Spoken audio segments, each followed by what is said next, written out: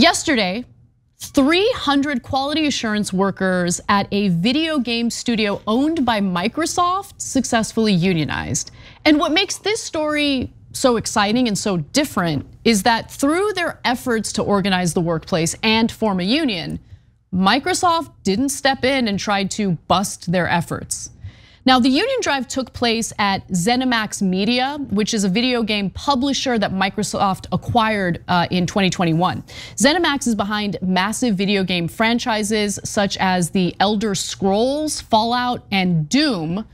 Now, though testing video games might sound like a super fun job and not at all grueling, that is actually not the case. It is a difficult job, it is grueling, and they're not playing video games for fun. They're doing it specifically to find you know, coding errors or glitches, things that they mm-hmm. need to fix. It's quality control.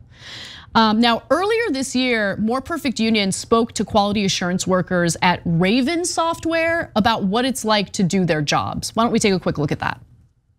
I worked on Black Ops 3. I was night shift. I remember the lights would turn off after 9 p.m. and then we would get like yelled at for spilling creamer. We would work 14 hour shifts at one point trying to get Black Ops 3 out. It was just insane. Like it felt like a dungeon. Especially when I was working in VR games. As a QA tester, you would be in the headset anywhere from four to eight hours a day with essentially two small TV screens blaring into your eyes.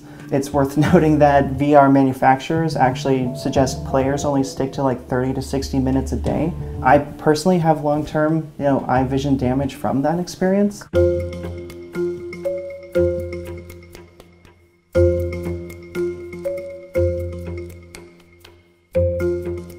We had been frustrated about pay for a long time. We had several testers who were on food stamps. Like, we had people who were qualifying for, for SNAP it was, you know, frustrating to know that we were putting out this game that makes upwards of $5 million a day and couldn't see any of that return.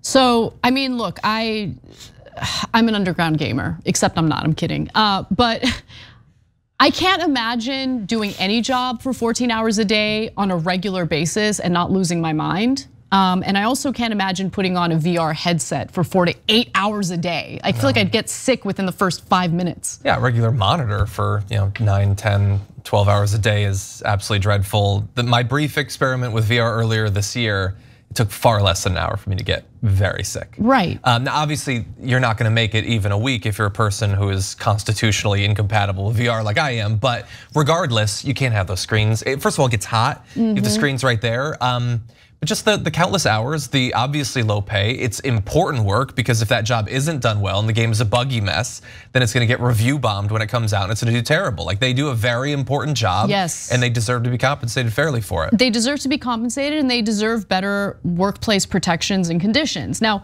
the video you just saw again wasn't um, the, the company that just unionized, it was Raven Software. But let's go back to ZeniMax and uh, what they're demanding through their union. They want better pay. They want fewer hours, which I think is reasonable considering the long hours they're working, flexible remote work policies, and better promotion policies.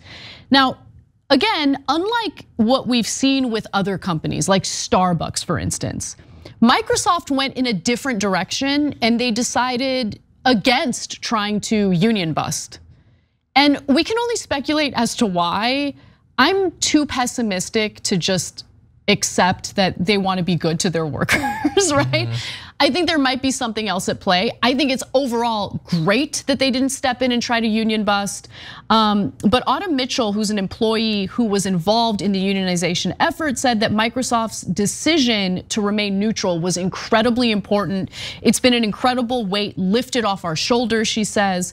The union election, by the way, wasn't even conducted through the National Labor Labor Relations Board. Um, oftentimes, when things get heated between the employees and the company, grievances are filed with the NLRB. They step in and, and they kind of oversee the process to make sure that these uh, employers aren't union busting. Instead, the company held a union vote by allowing employees to either sign a union authorization card or vote anonymously through an online platform. The workers unionized with the Communications Workers of America, CWA, and uh, that's all great. I mean, I'm really, really happy for them.